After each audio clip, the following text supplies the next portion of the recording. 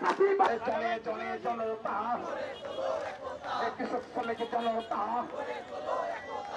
সমান করে নিন। আর আশেপাশে রয়েছেন তারও একই অপরাধ। কথা বলা। আল্লাহু!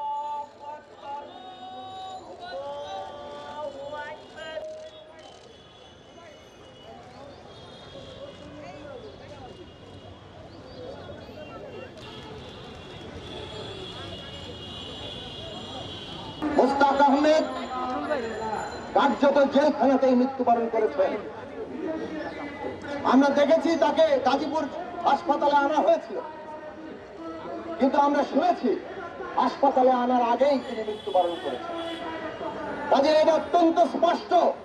দশ মাস কারাগারে, বিনা বিচারে এবং খুনক অভিযোগে, মিথ্যা অভিযোগে তাকে আটক রেখে এই সরকার তাকে হত্যা করেছে।